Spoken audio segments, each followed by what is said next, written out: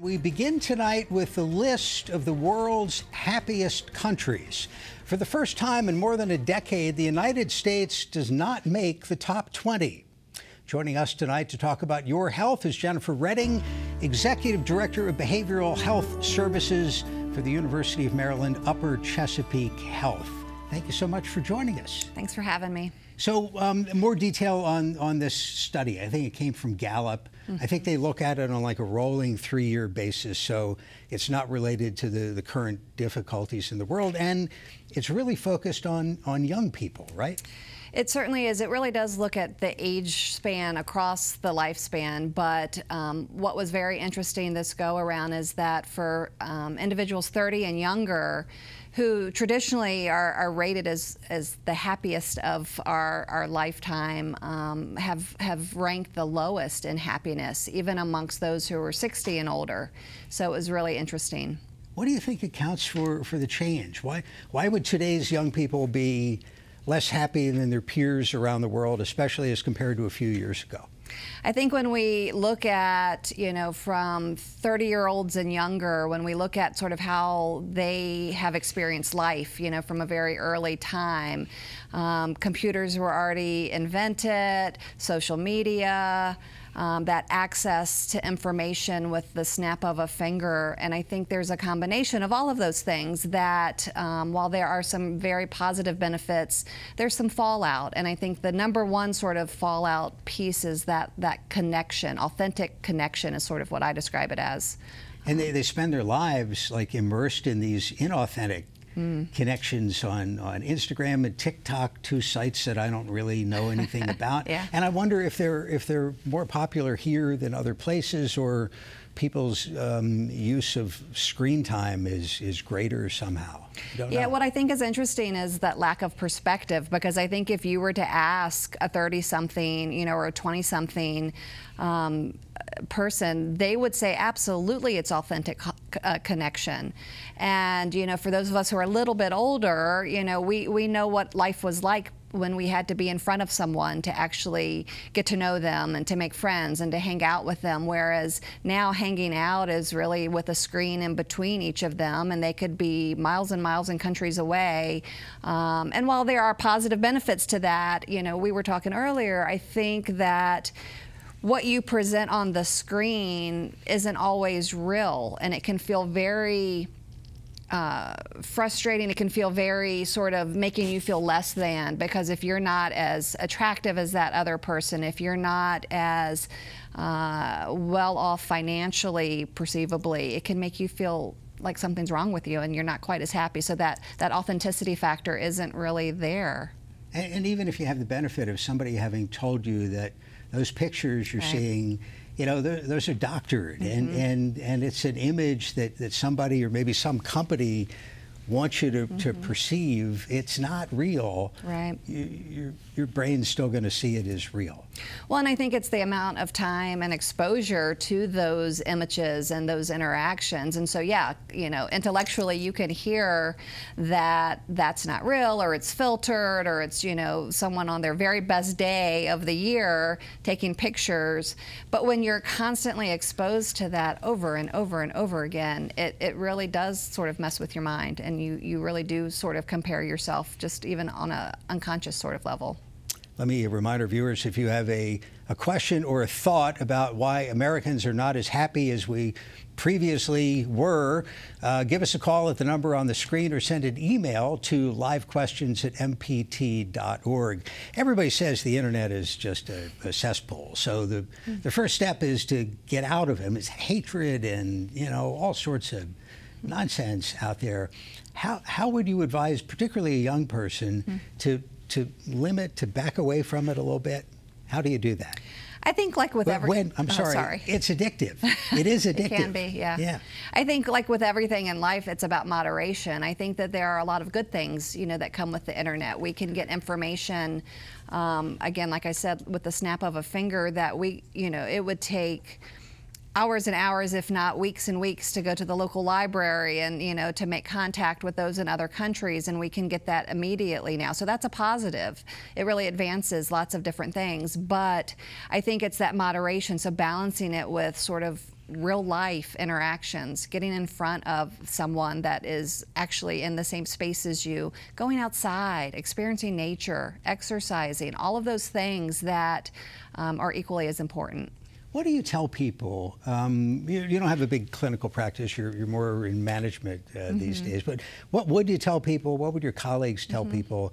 You know, a lot of lonely people out yeah. there. How, how do you um, get out in this world? And, and maybe the pandemic, mm-hmm. we talk about that, fed into it a little bit when everybody was cloistered. But, but now you need to make some, some new contacts. Mm-hmm. Um, you know, everybody can be a little bit shy. What, yeah. What's the best advice? I think the pandemic really brought um, to a level that most folks were finally able to recognize the power of connection. Um, you know, for those of us that have been doing mental health and counseling for as long as I have, we've known it for a very long time. But the pandemic sort of brought out that level of awareness that we really do need as humans you know contact it goes back to caveman days you know where we had to be together to stay alive you know to to to beat the dinosaurs if you will and so now to to have more of a connection it's it's and I'm stuttering, it's going to places where other people might be. So, you know, even something as simple as going to the local store it's not just sort of having your blinders on and you know going to buy what you came there to buy but maybe setting a goal for yourself. And it might sound silly but you know giving one person that you interact with a compliment. Oh i like your shoes or oh your hair looks great. And as simple as that sounds um, and maybe if you're shy like i am that is scary as i don't know what but it really does feel good to help someone else feel good and so you, you never know what other people are going through, and a compliment, you know, as simple as that, can really make their day. And so starting that way, you know, if you have hobbies, if you have common interests, you know, trying to get outside of your home, outside of the screen, and actually, you know, participate in those in, in the in the real world, in the in-person world. I, I, mentioned to you b- before we were on the air that I, I have a favorite park bench mm-hmm. in a beach town, mm-hmm. and uh, this, this, beach town sort of um, sold park benches. I guess they were they were raising money for it, so they had plaques on on all the benches, and and this one basically had the advice that that you should. Um, anybody you come in contact with, you should mm-hmm. make their day better mm-hmm. somehow. Mm-hmm. And it's the simplest thing. Yeah. And maybe, maybe I'm too self engaged or something. It never occurred to me that you yeah. should really, what a great thing to do, yeah. and, and it works both ways. Mm-hmm. And I think it goes hand in hand with gratitude. You know, so many of us, sort of like you described, we kind of get stuck in our own world and we're thinking about, you know, our own hard times and what we need to do for that day and all of you know our, our, to-do list. And so sometimes it is hard to, to remember that there are those outside of ourselves that really could benefit from a smile eye contact you know a simple compliment. And so coupled that with the gratitude you know again we sometimes kind of get into a pity party for ourselves if we've got a long week or you know we're not making as much money as we want to or whatever. And so really making a conscious choice to appreciate the things that are going for our lives. And sometimes that's just I woke up and the sky is blue, you know. So, but yeah. but make an intentional practice of gratitude. I want to come back to the, the pity party and when yeah. it when that crosses from being something that we all do sure. into something where you ought to go see somebody and talk to a professional. But we have a phone call from Montgomery County. This is Richard. Richard, thank you for calling. Go ahead. Yeah, my question is this: Isn't the lack of happiness more closely related to a lack of optimism in the American government, the future of America. Democracy uh, was once thought of as the best form of government in the world.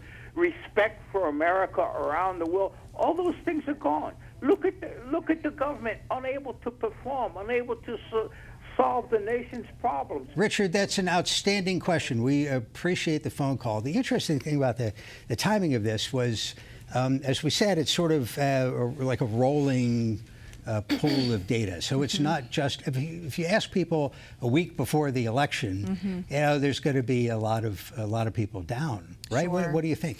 Well, I think at any given point in time, you know, depending on your perspective, uh, you know, with politics and the state of the world, it can feel overwhelming. And so I think that absolutely does impact, you know, sort of the global level of happiness or lack thereof. And so I think it does, you know, one way or the other, it, it can certainly have an impact. Maybe maybe it's my uh, media negativity filtering into it, but but when I when I looked at this report, my first thought was, wait, the United States was ever in the top 20? Right. I mean, I thought it was all Scandinavia, you know, maybe some island in the Pacific. Right. They're happier because they're away from all that stuff. Sure. Well, well, let me come back to the important thing. Um, Okay.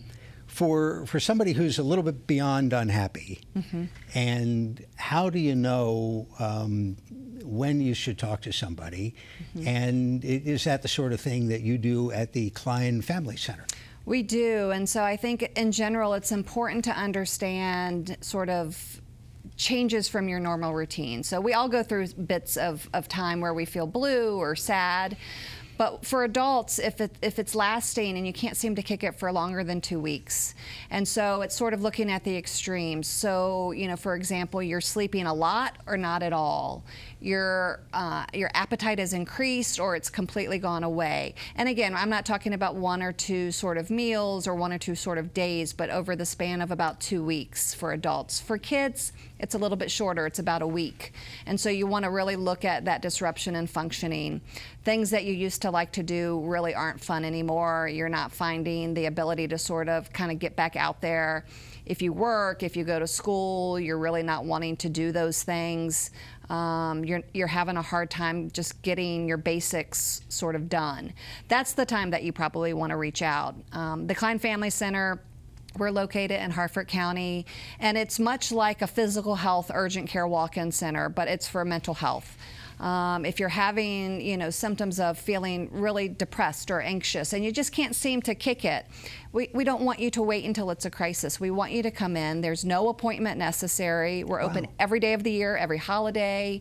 Even on the weekends, 9 a.m. to 9 p.m., you literally walk in, you're going to get in front of a licensed therapist.